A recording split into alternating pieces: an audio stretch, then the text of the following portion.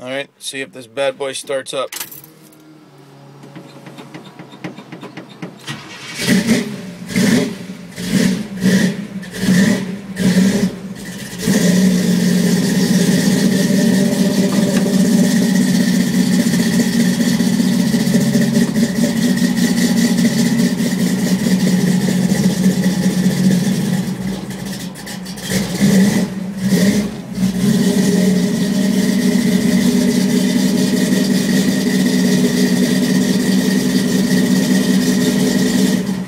Doesn't sound too bad for a Chevy, eh?